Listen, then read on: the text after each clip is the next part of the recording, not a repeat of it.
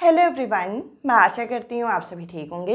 मैं काजल धामी, आप सभी का स्वागत करती हूँ।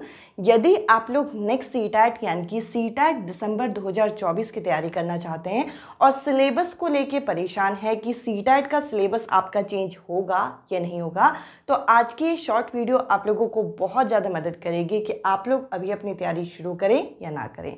यानी कि सी टैट का सिलेबस आपका चेंज हो भी रहा है या फिर जो एग्जिस्टिंग सिलेबस है वही रहेगा। साथ ही साथ यहाँ पर जो मैं आप लोगों को साइंस मैथ्स के क्लासेस देती हूँ, वो कब से होंगी और कौन कौन से दिन आपको क्लासेस देखने को मिलेंगी, ये शॉर्ट वीडियो आप लोगों को इसमें हेल्प करेगी। तो देखिए सी के अगर हम नेचर की बात करें तो सी की परीक्षा आपकी 2011 से यहाँ पे कंडक्ट हो रही है और अभी आप लोगों का ये एग्ज़ाम कंडक्ट होते होते 7 जुलाई 2024 तक इस एग्ज़ाम को कंडक्ट किया गया है। और इस बीच अगर हम सी टैट के सिलेबस की बात करें तो सी टैट के द्वारा जो ऑफिशियल सिलेबस दिया जाता है, वे आपका अभी तक सेम रहा है। इनफैक्ट आपका सी टैट एग्ज़ाम जो था, बीच में यहाँ पे जो था, पहले स्टार्टिंग में ऑनलाइन यहाँ पे ऑफलाइन मोड पे होता था और उसके बाद इस एग्ज़ाम को ऑनलाइन मोड पे शिफ्ट किया गया और उसके बाद दोबारा ऑफलाइन मोड पे शिफ्ट किया गया।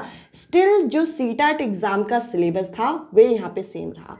तो देखिए, क्यों फिर हम लोगों के माइंड में ये चीज़ आती है कि सी एग्ज़ाम का सिलेबस चेंज होगा या नहीं होगा?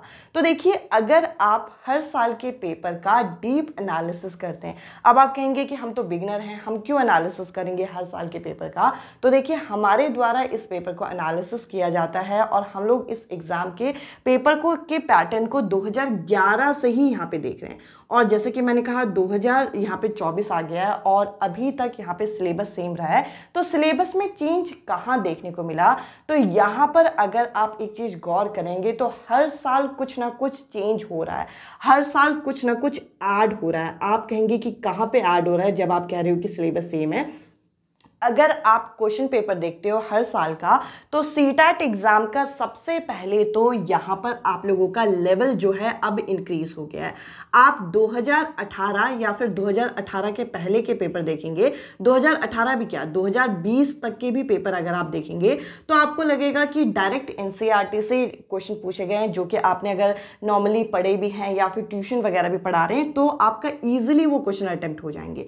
बट ये जब एग्ज़ाम आपका ऑनलाइन मोड पे शिफ्ट हुआ था तो जो सिक्स टू एट की जो एन e होती है, जिसको हम बहुत बेसिक एन e बोलते हैं, उससे भी बहुत एडवांस क्वेश्चन यहाँ पे बने थे।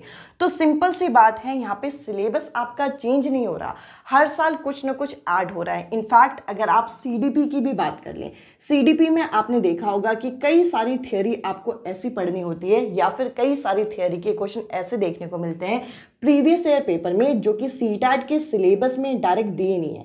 मीन्स वो चीज़ आपको करनी पड़ेगी, तब जाके उन क्वेश्चंस को आप अटेंड कर पाएँगे। सी के क्वेश्चंस का अगर हम नेचर देखें तो आपसे अजर्शन रीज़न यहाँ पे पूछे गए हैं। अजर्शन रीज़न वाले क्वेश्चन अगर आप देखते हैं पेपर सेट में तो अभी जो रिसेंट एग्ज़ाम हो रहे हैं, आपको उनमें देखने को मिलेगा, पर 2020 से पहले वाले पेपर में अजर्शन रीज़न के क्वेश्चन नहीं थे।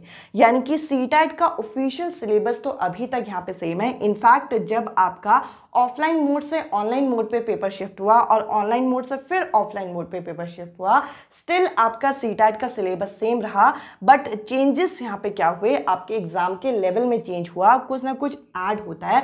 और अगर हम अपने सब्जेक्ट की बात करें जैसे कि मैं आपको साइंस की क्लासेस देती हूँ तो देखिए साइंस का अगर आप 2020 के पहले वाले पेपर देखेंगे तो आपको लगेगा बड़े बेसिक क्वेश्चन हैं और उन क्वेश्चन के डायरेक्ट आंसर निकल जाते हैं। जैसे कि आ, मतलब कोई आपसे से हार्मोन पूछ लिया गया कि ये जो आपका थायरॉक्सिन हार्मोन है, ये कहाँ से रिलीज़ होता है? या फिर गोइटर को ट्रीट करने के लिए आप क्या चीज़ खाएँगे? तो इस तरीके से जो बेसिक चीज़ें हैं, वो पूछी जाती थी। बट साइंस में अब जो है question up to tenth level के पूछे गए हैं। अब यहाँ पे मैंने एक वर्ड बोला अप टू टेंथ तो यहाँ पे आप ये मत कंफ्यूज होइएगा कि आपको कार्बन एंड इट्स कंपाउंड पढ़ना है, या फिर जो डाइवर्सिटी इन लिविंग ऑर्गेनिज्म है, ये पढ़ना है। ऐसा नहीं है।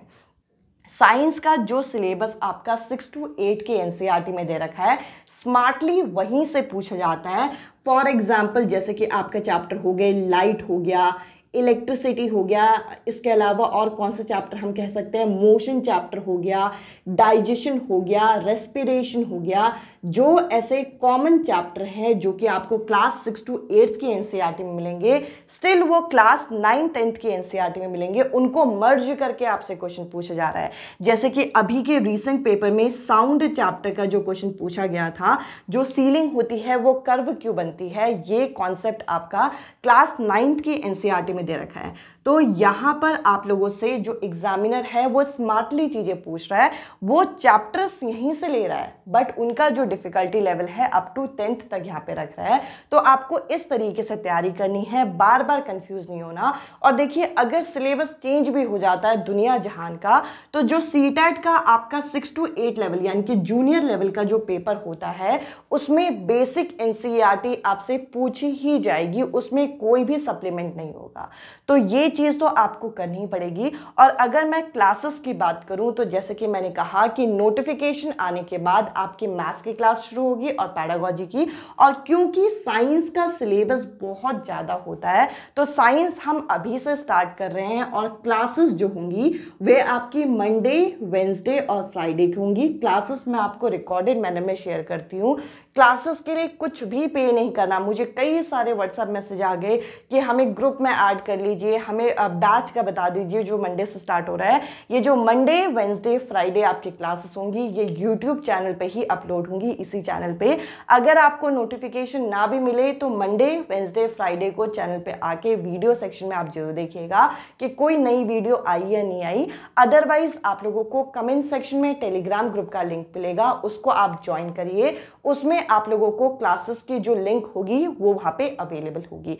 जिसके अंदर मैं आप लोगों के साथ एन e का जो आपके साइंस का पोर्शन है, वो यहाँ पे कवर करूँगी, जो कि सी पेपर टू जैसे कि मैंने कहा, मैं आपको साइंस और मैथ्स के क्लास देती हूँ। मैथ्स के क्लास जो है, अभी मैं बार बार कह रही हूँ, देखिए वीडियो अपलोड करते साथ कमेंट सेक्शन में फिर आ जाएगा कि ये क्लास कब होगी, वो क्लास कब होगी।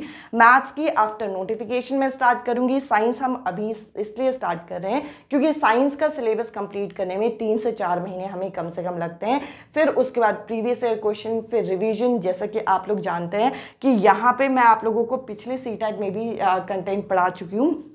कई सारे कैंडिडेट का यहाँ पे वीडियोस देख के भी ये एग्ज़ाम यहाँ पे क्लियर हुआ है। अगर आप कंसिस्टेंटली हफ़्ते में सिर्फ़ तीन दिन ये क्लासेस लेते हैं तो आप लोगों का एग्ज़ाम बहुत अच्छा जाएगा। अदरवाइज़ यहाँ पे आप लोगों को क्या करना है एन e जो है, वो चीज़ रीड करनी है। तो जो सिलेबस को लेके एक बहुत बड़ा माहौल बना रखा है कि चेंज होगा चेंज होगा। देखिए, अगर फ्यूचर में जाके कुछ चेंजेस होते हैं तो ऑफिशियली आपको पता चल जाएगा। इनफैक्ट अगर चेंज होगा भी तो मैं आप लोगों की क्लासेस जो हैं, उसी तरीके से मॉडिफाई कर दूँगी, जिस तरीके से आपका सिलेबस चेंज होगा। तो इस चीज़ के लिए आप यहाँ पे टेंशन फ्री रहिएगा, और साथ ही साथ मैं सी टैट एग्ज़ाम के पेपर टू साइंस के नोट्स जो है, वो प्रोवाइड करती हूँ साइंस मैथ सेक्शन के, जिसके हैंड रिटन नोट्स है। अब देखिए, कई सारे कैंडिडेट का डाउट होगा कि जब क्लासेस हैं तो फिर पेड नोट्स अलग से क्यों हैं तो क्लासेस आप लोगों की व्हाइट बोर्ड में जिस तरीके से मैं लिख रही हूँ, इस तरीके से होंगी। बाइलिंगुअल और जो हैंड रिटन नोट्स हैं, वो मेरे थ्रू लिखे हुए हैं। जो कि बाइलिंगुअल फॉर्म में मैंने लिखे हैं। तो जिनके पास यहाँ पे अलग से नोट्स रेडी करने का या एन e पढ़ने का टाइम नहीं है, वो इन नोट्स को परचेज कर सकते हैं। जिसमें जैसे कि मैंने आपको बताया कि लाइट चैप्टर हो गया इलेक्ट्रिसिटी हो गया मोशन हो गया डाइजेशन हो गया साउंड हो गया रेस्पिरेशन हो गया, इन सभी चैप्टर्स का कंटेंट मैंने अप टू टेंथ रखा हुआ है, ताकि आपको अलग से एनसीईआरटी पढ़ के दोबारा कन्फ्यूज़ होने की ज़रूरत ना पड़े। तो यहाँ पर सिलेबस को लेकर जो कन्फ्यूज़न थी आई होप वो क्लियर हुई होंगी। और क्लासेस में आप लोग मंडे वेंसडे फ्राइडे यानी कि कल से ही हम मिलेंगे। इवनिंग में मोस्ट प्रोबेबली मैं छः बजे के आसपास जो है वीडियो अपलोड करूँगी और टेलीग्राम ग्रुप में आप लोगों के साथ लिंक शेयर करूँगी। आई होप आज की वीडियो आपको पसंद आई होगी और जो बहुत सारे कंफ्यूजन है आपको सिलेबस को लेके, वो आप लोगों का क्लियर हुआ होगा। आज की इस वीडियो में इतना ही। अब मैं आपसे मिलती हूँ अगले वीडियो में। अगले टॉपिक के साथ। Bye bye take care